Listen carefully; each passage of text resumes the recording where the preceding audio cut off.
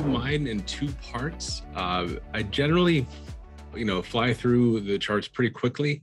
So I wanted to take some time and, and make a, a, a, shorter segment about all the details of somewhat of why I've chosen them and, and what we're looking at. So when you see these every month, you'll have a better understanding of what we're looking at. Here's a guide to our monthly charts. So first of all, we typically look at as a long-term trend, we use the it's about a six-month look at the advanced decline in line of the New York Stock Exchange. So the New York Stock Exchange, it's has, you know, certain stocks are listed on that exchange. And this takes all of them and says how many are going up, how many are going down. And then we put a blue line that's a 55 day moving average on it just to kind of get the trend of it. So if this is trending down as it is, uh, that's generally a negative negative feel for the overall environment. This is our own calculation. We call this the midterm cycle or the midterm trend.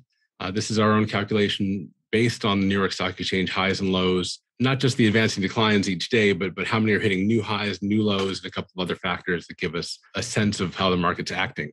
So as, as I always say, it was when this is rising and above the, the zero line, that means money is coming into the market and accelerating. When it's coming down, money is still coming in, it's just decelerating.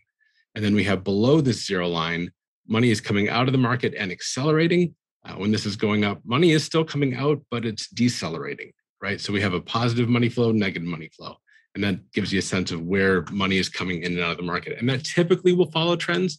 Uh, this year's been a little bit different in that how that acts, but that's ultimately what this is uh, uh, trying to achieve is showing where money is flowing. Uh, next, we have, I typically throw a 21 day moving average on most charts. So that's just to give a quick understanding. That's this blue line.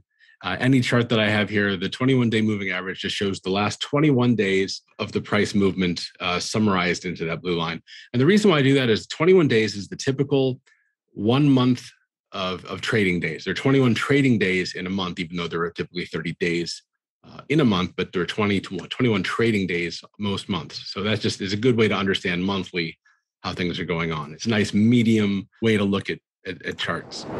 On our sectors, positive, negative sectors, I have one of these for the major indexes, the sectors for the bond market, for commodities. I really just show the sectors, although I'll occasionally bring in the other if something interesting is happening. Um, so what what's happening here is the left and right, the positive versus negative, is coming on based on the average directional index. John Carter, a big trader, uh, refers to them as who's in control. Are the buyers in control or the sellers in control? So if the buyers are control, it's going to be on this side of the column. And if the sellers are in control, it's on the right side. And that's just big picture. And then the ADX plays into that. The number is really not relevant. The ADX trend is though. And what that's looking at is when the ADX number is rising, and, and you don't have to know what this is, but if it's rising three days in a row, I have a yes. This is the only one that's doing it.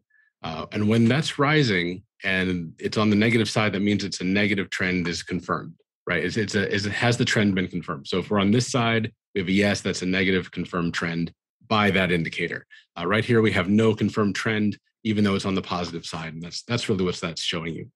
Here's just the standard MACD, MACD. It's the uh, moving average convergence divergence. It's, it takes a couple of moving averages and, and, gives a sense of are they getting further away from each other or closer to each other or, or, crossing. It turns red or green if it's had a crossover, a change in sentiment in the last three days. So right now we've got a green dot. So in the last three days, basic materials showed to improve, but we'll have to see if that holds up. Uh, and then it just kind of tells you how for how many days it's been uh, on that indication.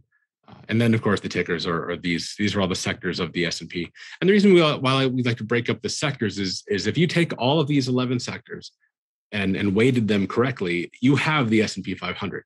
So by looking at 11 pieces of it, you can get a sense for how much of that is actually doing okay and how much is not uh, on a on a fairly active basis. It's neat to see underneath what's what's shifting back and forth. And then finally, this is new. I haven't shown it much lately, but it's something we do look at a lot. It's called a relative rotation graph. And this is all the sectors again, but when it's in this box down here, it's usually lagging.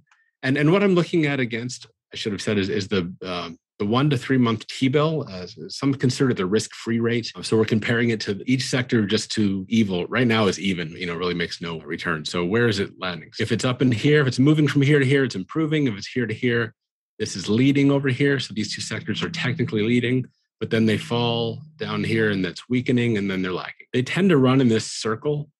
Uh, kind of funny off the edge, we have two two that are so skewed, they're off the chart right now. But just interesting cycle to watch things move as the market moves as well. So you can watch as this kind of turns around here, the market will probably start selling off more directly. So hopefully that's that's helpful. That's a big overview of the charts that we look at every month.